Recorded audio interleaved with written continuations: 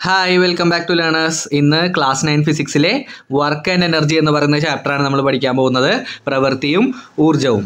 Actually ഈ ഒരു ചാപ്റ്ററിൽ നമ്മൾ പ്രധാനമായിട്ടും പഠിക്കുന്നത് വർക്കിനെ കുറിച്ച് പഠിക്കും അതുപോലെ തന്നെ എനർജിയെ കുറിച്ച് പഠിക്കും. അതുകൂടാതെ നമ്മൾ പവറിനെ കുറിച്ചും പഠിക്കും. എന്തിനൊക്കെ കുറിച്ച് പഠിക്കും? വർക്ക് എനർജി പവർ പ്രവൃത്തിയെ കുറിച്ച് പഠിക്കും. ഊർജത്തെക്കുറിച്ച് പഠിക്കും. അതുപോലെ തന്നെ പവറിനെ കുറിച്ച് പഠിക്കും. ഓക്കെ അപ്പോൾ ഈ ഒരു ചാപ്റ്ററിന്റെ ഹെഡിങ് തന്നെ നിങ്ങൾ ഒന്ന് മാറ്റണം. വർക്ക് ആൻഡ് എനർജി അല്ല. വർക്ക് എനർജി ആൻഡ് പവർ ആണ്. ഓക്കെ ഈ മൂന്ന് കാര്യങ്ങളെക്കുറിച്ച് കൃത്യമായിട്ട് ഈ ഒരു ചാപ്റ്റർ പഠിച്ചു കഴിയുമ്പോൾ നിങ്ങൾക്ക് കൃത്യമായിട്ടത് മനസ്സിലാക്കിയെടുക്കാൻ പറ്റും. ആദ്യം തന്നെ നമ്മൾ വർക്കിന്റെ ഡെഫിനിഷനാണ് പഠിക്കാൻ വേണ്ടി പോകുന്നത്. നോക്കിയേ. Work is set to be done by a force if there is a displacement for the object in the direction of the applied force അതായത് ഒരു വസ്തുവിൽ ബലം പ്രയോഗിക്കുകയും അതുമൂലം വസ്തുവിന് ബലത്തിന്റെ ദിശയിൽ സ്ഥാനാന്തരം സംഭവിക്കുകയും ചെയ്യുന്നുണ്ടെങ്കിൽ ബലം വസ്തുവിൽ പ്രവൃത്തി ചെയ്തു എന്ന് നമുക്ക് പറയാൻ വേണ്ടി പറ്റും. അതായത് ഞാനിവിടെ പത്ത് കിലോഗ്രാം മാസമുള്ള ഒരു വസ്തു എടുക്കുകയാണ്. പത്ത് കിലോഗ്രാം മാസമുള്ള ഒരു പെട്ടി എടുക്കുകയാണ്. ഈ പെട്ടിയിലേക്ക് ഞാൻ അഞ്ച് ന്യൂട്ടൺ ബലം പ്രയോഗിക്കുകയാണ്. അഞ്ച് ന്യൂട്ടൺ എത്രയാണ്? അഞ്ച് ന്യൂട്ടൺ ബലം പ്രയോഗിച്ചു. അങ്ങനെയാണെങ്കിൽ ഈ പെട്ടി എന്ത് ചെയ്തിട്ടുണ്ടാവും? ആ സ്വാഭാവികമായിട്ട് നീങ്ങിയിട്ടുണ്ടാവും അല്ലേ? നീങ്ങിയത് ഒരു രണ്ട് മീറ്റർ ആണെന്നിരിക്കട്ടെ ഇനി നിങ്ങൾ ഈ സ്റ്റേറ്റ്മെന്റ് ഒന്ന് വായിച്ചു നോക്ക്. അതായത് work is set to be done by a force if there is a displacement for the object in the direction of applied force എവിടേക്കാണോ ബലം പ്രയോഗിച്ചത്? ആ ബലം പ്രയോഗിച്ച ദിശയിൽ ആ വസ്തുവിന് സ്ഥാനാന്തരം സംഭവിച്ചിട്ടുണ്ടെങ്കിൽ ഡിസ്പ്ലേസ്മെന്റ് സംഭവിച്ചിട്ടുണ്ടെങ്കിൽ അതിനെന്ത് പറയും? ആ വർക്ക് ഡൺ എന്ന് പറയും. അല്ലെങ്കിൽ പ്രവൃത്തി ചെയ്തു എന്ന് പറയും. ഒന്നുകൂടി പറഞ്ഞുതരാം. അതായത് ആ ഒരു വസ്തുവിൽ ബലം പ്രയോഗിച്ചാൽ ആ ബലം പ്രയോഗിച്ച ദിശയിൽ തന്നെ സ്ഥാനാന്തരം സംഭവിക്കണം. പ്രയോഗിച്ച ദിശയിൽ തന്നെ സ്ഥാനാന്തരം സംഭവിക്കണം. ആ ഫോഴ്സ് എവിടേക്കാണോ അപ്ലൈ ചെയ്തത് അതേ ഡയറക്ഷനിലേക്ക് തന്നെ ഡിസ്പ്ലേസ്മെന്റ് സംഭവിച്ചാൽ അതിനെയാണ് മക്കളെ എന്ത് പറയുക? പ്രവൃത്തി അഥവാ വർക്ക് എന്ന് പറയുക. ടെക്സ്റ്റ് ബുക്കിൽ ഇല്ലാത്ത ഒരു ചെറിയൊരു എക്സാമ്പിൾ ഞാനിവിടെ പറഞ്ഞുതരാം. അതായത് വലിയൊരു ബ്ലോക്ക് നമ്മളിവിടെ എടുത്തിട്ടുണ്ട്. വലിയൊരു പത്ത് കിലോഗ്രാമിന്റെ ബ്ലോക്ക് എടുത്തിട്ടുണ്ട്. അതിലേക്ക് എന്ത് ചെയ്യുകയാണ്? ഒരു ഇരുപത് ന്യൂട്ടൺ ഫോഴ്സ് ഒരാൾ കൊടുക്കുകയാണ്. ഏകദേശം പത്ത് മീറ്ററോളം അദ്ദേഹം ആ ഒരു വസ്തുവിനെ നീക്കി നീക്കി നീക്കി നീക്കി കൊണ്ടുപോയി. അങ്ങനെ കൊണ്ടുപോയിട്ട് എന്ത് ചെയ്തു? അവസാനം ഫൈനൽ പൊസിഷനിൽ അവിടെ നിർത്തി വെച്ചു. അപ്പോൾ നിങ്ങളിവിടെ ചോദിക്കുന്നത് ഞാനിവിടെ ചോദിക്കുന്നത് ഈ ഒരു വ്യക്തി വർക്ക് ചെയ്തിട്ടുണ്ടോ വർക്ക് ചെയ്തിട്ടില്ലേ എന്നാണ് ഞാൻ ചോദിക്കുന്നത്. നിങ്ങൾ എന്താണ് ഉത്തരം പറയുക? യെസ് ഇദ്ദേഹം എന്ത് ചെയ്തിട്ടുണ്ട്. വർക്ക് ചെയ്തിട്ടുണ്ട്. കാരണം എന്താണ്? ആ ഇവിടെ ഒരു ഫോഴ്സും കൊടുത്തിട്ടുണ്ട്. ആ ഫോഴ്സ് കൊടുത്തപ്പോൾ ഫോഴ്സിന്റെ അതേ ഡയറക്ഷനിൽ തന്നെ എന്ത് സംഭവിച്ചിട്ടുണ്ട്? ഡിസ്പ്ലേസ്മെന്റ് സംഭവിച്ചിട്ടുണ്ട്. ശരിയല്ലേടാ? ഒന്ന് നോക്കടാ. ഇവിടെ ഫോഴ്സ് ഇരുപത് ന്യൂട്ടൺ ഫോഴ്സ് കൊടുത്തിട്ടുണ്ട്. അതുപോലെ പത്ത് മീറ്റർ ഡിസ്പ്ലേസ്മെന്റ് സംഭവിച്ചിട്ടുണ്ട്. അപ്പോൾ ഇങ്ങനെ ഫോഴ്സ് കൊടുത്ത അതേ ഡയറക്ഷനിൽ തന്നെ ഡിസ്പ്ലേസ്മെന്റ് ഉണ്ടെങ്കിൽ അതിനെ എന്തെന്ന് പറയാൻ പറ്റും? വർക്ക് ഡൺ അഥവാ പ്രവൃത്തി ചെയ്തു എന്ന് നമുക്ക് പറയാൻ വേണ്ടി പറ്റും. ക്ലിയർ ആണോടാ? യെസ് ഇനി നിങ്ങൾ നോക്കിയേ. അടുത്തൊരു കേസ്. അടുത്ത കേസിൽ നിങ്ങൾ നോക്കിക്കഴിഞ്ഞാൽ മെസ്സി ഒരു ബോളിനെ കിക്ക് ചെയ്ത് ഗോൾ ആക്കുകയാണ്. അപ്പോൾ മെസ്സി എന്ത് ചെയ്യുന്നുണ്ട്? ഇവിടെ സ്വാഭാവികമായിട്ടും ഫോഴ്സ് കൊടുക്കുന്നുണ്ട് അല്ലേ? ഫോഴ്സ് കൊടുക്കുന്നുണ്ട്. അതുപോലെ ഈ ഒരു ബോളിന് എന്ത് സംഭവിക്കുന്നുണ്ട്? ഡിസ്പ്ലേസ്മെന്റ് സംഭവിക്കുന്നുണ്ട്. അപ്പോൾ ഫോഴ്സും കൊടുത്തിട്ടുണ്ട് ഡിസ്പ്ലേസ്മെന്റ് സംഭവിച്ചിട്ടുണ്ട്. അപ്പോൾ മെസ്സി വർക്ക് ചെയ്തിട്ടുണ്ടോ? വർക്ക് ചെയ്തിട്ടില്ലേ? പറഞ്ഞേടാ. യെസ് വർക്ക് ചെയ്തിട്ടുണ്ട്. വർക്ക് ചെയ്തിട്ടുണ്ട്. വെരി ഗുഡ് വർക്ക് ചെയ്തിട്ടുണ്ട്. ഇനി അതേസമയം ഇദ്ദേഹം ഈ ഒരു ചുമരിനെ തള്ളുകയാണ്. ഈ ഒരു വാളിനെ എന്ത് ചെയ്യാണ് പുഷ് ചെയ്യാണ്. അപ്പോൾ പുഷ് ചെയ്യുന്ന സമയത്ത് അദ്ദേഹം ഒരു ഫോഴ്സ് കൊടുക്കുന്നുണ്ട് അല്ലേ? അദ്ദേഹം ഒരു ഫോഴ്സ് കൊടുക്കുന്നുണ്ട്. പക്ഷേ എന്തില്ല? ഈ ഒരു ചുമര് എന്ത് ചെയ്യുന്നില്ല? ഡിസ്പ്ലേസ്മെന്റ് സംഭവിക്കുന്നില്ല അല്ലേ? ഡിസ്പ്ലേസ്മെന്റ് സംഭവിക്കുന്നില്ല. അപ്പോൾ ഇവിടെ എന്ത് ചെയ്തിട്ടില്ല എന്ന് പറയാൻ പറ്റും? വർക്ക് ചെയ്തിട്ടില്ല. അതായത് മക്കളെ പറഞ്ഞു വന്നത് ഇത്രയേ ഉള്ളൂ. കൊടുത്ത ഫോഴ്സിന്റെ അതേ ഡയറക്ഷനിൽ തന്നെ എന്ത് സംഭവിക്കണം? ഡിസ്പ്ലേസ്മെന്റ് സംഭവിക്കണം. കൊടുത്ത ബലത്തിന്റെ അതേ ദിശയിൽ തന്നെ എന്ത് സംഭവിക്കണം? സ്ഥാനാന്തരം സംഭവിച്ചാൽ മാത്രമേ അവിടെ പ്രവൃത്തി ചെയ്തു എന്ന് നമുക്ക് പറയാൻ വേണ്ടി പറ്റുള്ളൂ. ക്ലിയർ ആണെന്ന് വിചാരിക്കുന്നു. അങ്ങനെയാണെങ്കിൽ മെസ്സി വർക്ക് ചെയ്തിട്ടുണ്ട്. ഈ ഒരു വ്യക്തി എന്ത് ചെയ്തിട്ടില്ല? വർക്ക് ചെയ്തിട്ടില്ല. ഇനി നിങ്ങളുടെ ടെക്സ്റ്റ് ബുക്കിലെ നാല് ചിത്രത്തിലേക്കാണ് ഞാൻ കിടക്കുന്നത്. ഓരോരോ ചിത്രങ്ങളിലും വർക്ക് ഡൺ എത്രയാണെന്നാണ് ചോദിച്ചിരിക്കുന്നത്. വർക്ക് ചെയ്തിട്ടുണ്ടോ? വർക്ക് ചെയ്തിട്ടില്ല എന്നാണ് ചോദിച്ചിരിക്കുന്നത്. സോ ഫസ്റ്റ് ചിത്രത്തിലേക്ക് നോക്കിക്കഴിഞ്ഞാൽ അദ്ദേഹം ഈ ഒരു ചാക്കിനെ മുകളിലേക്ക് എടുത്ത് കൊണ്ടുപോകുന്നുണ്ട്. അപ്പോൾ ആ ഒരു ചാക്കിൽ എന്ത് ചെയ്യുന്നുണ്ട്? ഫോഴ്സ് കൊടുക്കുന്നുണ്ട്. അല്ലെ? ആ ഒരു സഞ്ചിയിൽ ഫോഴ്സ് കൊടുക്കുന്നുണ്ട്. അതുപോലെ തന്നെ അദ്ദേഹം മുകളിലേക്ക് കയറി പോകുന്നതുകൊണ്ട് അദ്ദേഹത്തിന് എന്തുണ്ട്? ഡിസ്പ്ലേസ്മെന്റ് സംഭവിച്ചിട്ടുണ്ട്. അപ്പോൾ മക്കളെ നിങ്ങൾ മനസ്സിലാക്കി വെക്കുക. ഫോഴ്സും ഡിസ്പ്ലേസ്മെന്റും സംഭവിച്ചിട്ടുണ്ടെങ്കിൽ അദ്ദേഹം എന്ത് ചെയ്യുന്നുണ്ട്? വർക്ക് ചെയ്യുന്നുണ്ട് എന്ന് പറയാൻ പറ്റും. ഇനി അടുത്തത് ഇതുപോലെ നിങ്ങളുടെ ക്ലാസ്സിലെ ഒരു കുട്ടി എന്ത് ചെയ്യുകയാണ്? വലിയൊരു പാറക്കല്ലിനെ തള്ളുകയാണ്. തള്ളുകയാണെങ്കിൽ അവിടെ എന്തുണ്ട്? ഫോഴ്സ് കൊടുത്തിട്ടുണ്ട്. പക്ഷേ ഡിസ്പ്ലേസ്മെന്റ് സംഭവിക്കുന്നില്ല. അല്ലേ? നിങ്ങളൊന്ന് ആലോചിച്ച് നോക്കിയേ. ഈ ഒരു ചെറിയ കുട്ടി എന്ത് ചെയ്യുകയാണ്? വലിയൊരു കല്ലിനെ തള്ളുന്നു. ഇമ്പോസിബിൾ അല്ലേ അത്? യെസ് അപ്പോൾ ആ ഒരു കല്ലിന് എന്ത് ചെയ്യുന്നില്ല? ഡിസ്പ്ലേസ്മെന്റ് ഇല്ല. ഡിസ്പ്ലേസ്മെന്റ് അഥവാ എസ് ഇല്ല എന്ന് നമുക്ക് പറയാൻ പറ്റും. സോ അവിടെ എന്ത് ചെയ്തിട്ടില്ല? വർക്ക് ചെയ്തിട്ടില്ല. വർക്ക് ചെയ്തിട്ടില്ല. റെഡി ഇനി അടുത്തത് മൂന്നാമത്തെ സിറ്റുവേഷനിലേക്ക് പോകുമ്പോൾ ആ ഒരു മനുഷ്യൻ ട്രോളിയെ എന്ത് ചെയ്യുകയാണ്? ട്രോളിയെ പുഷ് ചെയ്യുകയാണ് അല്ലേ? ട്രോളിയെ പുഷ് ചെയ്യുകയാണ്. അപ്പോൾ അദ്ദേഹം സ്വാഭാവികമായിട്ട് ഒരു ഫോഴ്സ് കൊടുത്തിട്ടുണ്ട്. അതുപോലെ ആ ഒരു ട്രോളിക്ക് എന്തുണ്ട്? ആ ഡിസ്പ്ലേസ്മെന്റ് സംഭവിച്ചിട്ടുണ്ട്. അങ്ങനെയാണെങ്കിൽ വർക്ക് ചെയ്തിട്ടുണ്ടോ? ചെയ്തിട്ടില്ലേ? നിങ്ങൾ തന്നെ പറയും. യെസ് വർക്ക് ചെയ്തിട്ടുണ്ട് അല്ലേ? കാരണം ഫോഴ്സ് കൊടുത്തിട്ടുണ്ട്. ആ ഫോഴ്സിന്റെ അതേ ഡയറക്ഷനിൽ തന്നെ ഡിസ്പ്ലേസ്മെന്റ് സംഭവിച്ചിട്ടുണ്ട്. റെഡി ഇനി അടുത്ത നാലാമത്തെ ചിത്രത്തിലേക്ക് നോക്കിക്കഴിഞ്ഞാൽ മക്കളെ നിങ്ങൾ കൃത്യമായിട്ട് ശ്രദ്ധിക്കണം. നാലാമത്തെ ചിത്രത്തിൽ ആ ഒരു വ്യക്തി എന്ത് ചെയ്യുകയാണ്?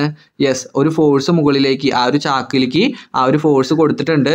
പക്ഷേ അദ്ദേഹം അവിടെ തന്നെ നിൽക്കുകയാണ്. അദ്ദേഹം അവിടെ തന്നെ നിൽക്കുകയാണ്. സ്റ്റാൻഡിങ് ലൈക്ക് ദാറ്റ് അപ്പോൾ അദ്ദേഹം അവിടെ തന്നെ നിൽക്കുകയാണെങ്കിൽ അവിടെ ഒരു ഫോഴ്സ് കൊടുത്തിട്ടുണ്ട്. പക്ഷേ എന്തില്ല? ഡിസ്പ്ലേസ്മെന്റ് ഇല്ല. ഡിസ്പ്ലേസ്മെന്റ് അഥവാ എസ് ഇല്ല. അപ്പോൾ ഡിസ്പ്ലേസ്മെന്റ് ഇല്ല എന്ന് പറഞ്ഞു കഴിഞ്ഞാൽ മക്കളെ നിങ്ങൾ മനസ്സിലാക്കി വെക്കണം. അവിടെ എന്ത് ചെയ്തിട്ടില്ല? വർക്ക് ചെയ്തിട്ടില്ല.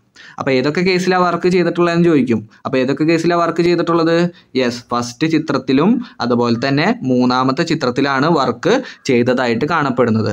അപ്പോൾ നിങ്ങൾ മനസ്സിലാക്കി വെക്കേണ്ട കാര്യം ഇത്രയേ ഉള്ളൂ. രണ്ടും വേണം. എന്ത് വേണം? ഫോഴ്സും വേണം. ഡിസ്പ്ലേസ്മെന്റും വേണം. ഫോഴ്സിന്റെ ഡയറക്ഷനിൽ ഡിസ്പ്ലേസ്മെന്റും ഉണ്ടെങ്കിൽ മാത്രമേ അവിടെ പ്രവൃത്തി ചെയ്തു അഥവാ വർക്ക് ചെയ്തു എന്ന് നമുക്ക് പറയാൻ വേണ്ടി പറ്റുള്ളൂ.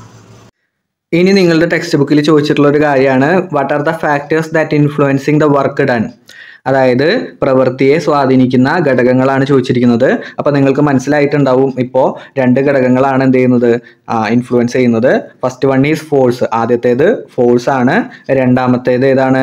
യെസ് ഡിസ്പ്ലേസ്മെന്റ് ആണ് കേട്ടോ. അപ്പോൾ അവിടെ എഴുതി വെക്കണം ഡിസ്പ്ലേസ്മെന്റ് അഥവാ സ്ഥാനാന്തരം എന്ന് എഴുതി വെക്കണം. ക്ലിയർ അപ്പോൾ മലയാളം മീഡിയം കുട്ടികളാണെങ്കിൽ ഒന്നാമത് സ്വാധീനിക്കുന്ന ഘടകം ബലവും രണ്ടാമത് സ്വാധീനിക്കുന്നത് സ്ഥാനാന്തരവുമാണ്.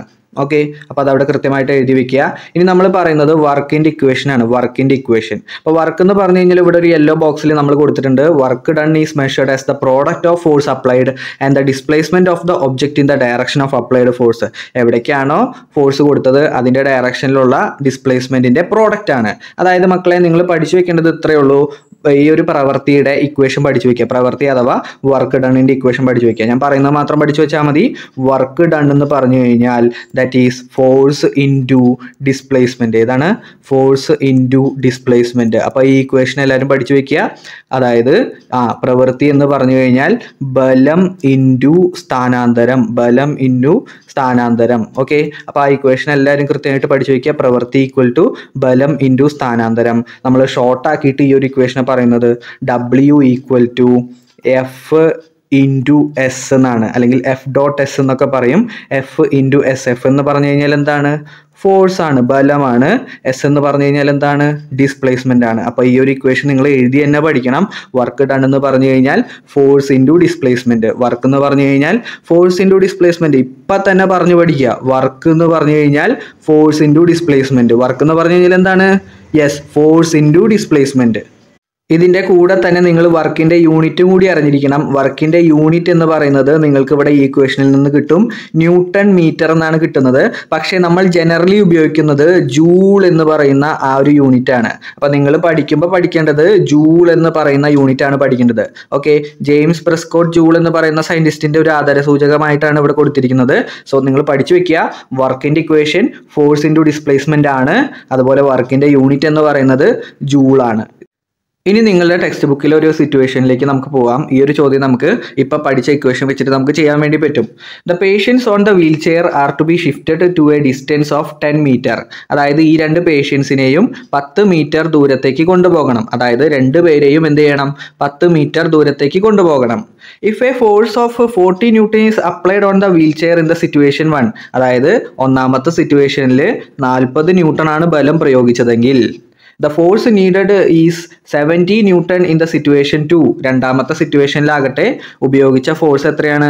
എഴുപത് ന്യൂട്ടൺ ആണ്. അപ്പോൾ മക്കളെ നിങ്ങൾ മനസ്സിലാക്കുക in both the cases the wheelchair was taken at the same speed along the same path the displacement of the wheelchair is also the same അതായത് ഇവിടെ ഡിസ്പ്ലേസ്മെന്റ് സെയിം ആണ് സ്ഥാനാന്തര സെയിം ആണെന്നാണ് പറയുന്നത്.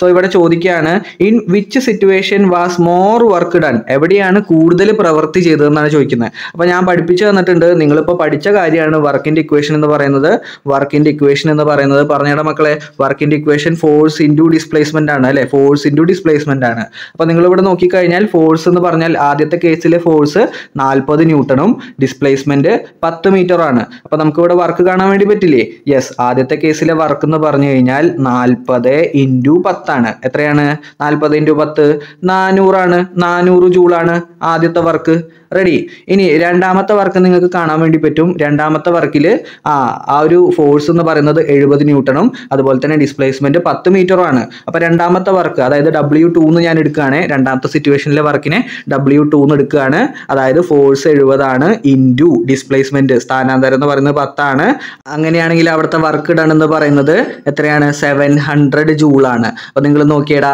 ആദ്യത്തെ കേസിൽ എത്രയായിരുന്നു? ആദ്യത്തെ കേസിൽ നാനൂറ് ജൂളാണ് വർക്ക് ചെയ്തത്. രണ്ടാമത്തെ കേസിൽ എഴുന്നൂറ് ജൂളാണ് വർക്ക് അപ്പൊ എവിടെയാണ് കൂടുതലായിട്ട് വർക്ക് ചെയ്തത്? നിങ്ങൾ തന്നെ പറയൂ. എവിടെയാണ് കൂടുതലായിട്ട് വർക്ക് ചെയ്തത്? യെസ് സിറ്റുവേഷൻ ടൂയിലാണ് അല്ലെ? സിറ്റുവേഷൻ ടു രണ്ടാമത്തെ സന്ദർഭത്തിലാണ് കൂടുതലായിട്ട് വർക്ക് ചെയ്തത്. അപ്പൊ നിങ്ങൾ അത് മാർക്ക് ചെയ്യണം. എവിടെയാണ് കൂടുതൽ വർക്ക് ചെയ്തതെന്ന് ചോദിച്ചു കഴിഞ്ഞാൽ situation ടൂയിലാണ് which factor influence the quantity of the work done ഏത് ഫാക്ടറിനെ ഡിപ്പെൻഡ് ചെയ്തിട്ടാണ് വർക്ക് ഡിപ്പെൻഡ് ചെയ്തിരുന്നത്? യെസ് ദാറ്റ് ഈസ് എന്താണ്? ഫോഴ്സിനെയാണ് കേട്ടോ. ഫോഴ്സ് ആണ്. അപ്പോൾ ഇത്രയും കാര്യങ്ങൾ നിങ്ങൾ മനസ്സിലാക്കി വെക്കുക. ടെക്സ്റ്റിൽ ഉണ്ടായിരുന്ന ഒരു ടൈപ്പ് ഓഫ് ചോദ്യം ചെയ്ത് കഴിഞ്ഞിട്ടുണ്ട്. സോ അതുപോലെ തന്നെ വർക്കിന്റെ ഇക്വേഷൻ പറഞ്ഞിട്ടുണ്ട്. വർക്കിന്റെ യൂണിറ്റും പറഞ്ഞു തന്നിട്ടുണ്ട്. ഒരു ക്വസ്റ്റ്യനും നമ്മൾ ചെയ്തിട്ടുണ്ട്. ഇനി അടുത്ത വീഡിയോ ക്ലാസ്സിൽ നമുക്ക് work done against the gravity പറയണം. അതുപോലെ തന്നെ നെഗറ്റീവ് വർക്കിനെ കുറിച്ച് പറയണം. സോ ഈ പറഞ്ഞ ടോപ്പിക്കുകളൊക്കെ അടുത്ത വീഡിയോയിൽ നമ്മൾ കവർ ചെയ്യുന്നതായിരിക്കും. സോ ചാനൽ ഇതുവരെ സബ്സ്ക്രൈബ് ചെയ്യാത്തവരുണ്ടെങ്കിൽ കറക്റ്റായിട്ട് സബ്സ്ക്രൈബ് ചെയ്യുക. നിങ്ങളുടെ കൂട്ടുകാരിലേക്ക് ഈ ഒരു ക്ലാസ് പരമാവധി ഷെയർ ചെയ്ത് കൊടുക്കാനായിട്ട് ശ്രമിക്കുക. സോ നമുക്ക് മറ്റൊരു വീഡിയോയിൽ കാണാം. അതുവരേക്കും ബൈ